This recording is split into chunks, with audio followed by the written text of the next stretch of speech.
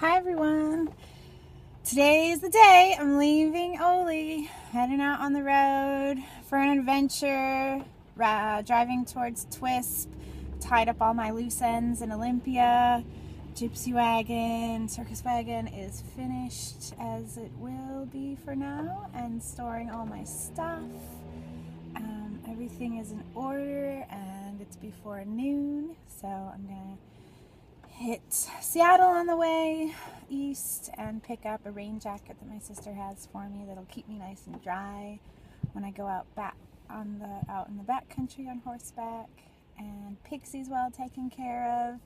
Yesterday was really sad because I knew I wouldn't see her for a long time. I hope she doesn't forget me or think that I left her, but she is super excited to spend time with my friend Izzy.